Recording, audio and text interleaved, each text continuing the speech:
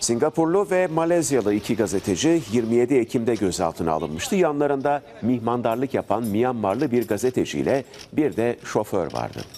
Parlamento binası yakınında uçan gözle çekim yaptıkları için yakalanmışlardı.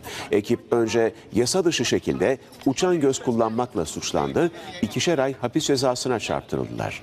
Bugünse bir kez daha hakim karşısına çıkarıldılar. Haklarında bir dava daha açıldı. Bu sefer de ülkeye kaçak olarak uçan göz getirmekle itham edildiler.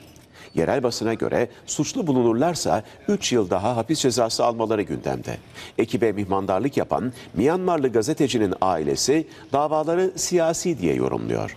Ülkedeki uçan gözlerin neredeyse hiçbirinin kayıtlı ve izinli olmadığını söylüyor. Bir sonraki duruşma 4 Aralık'ta görülecek.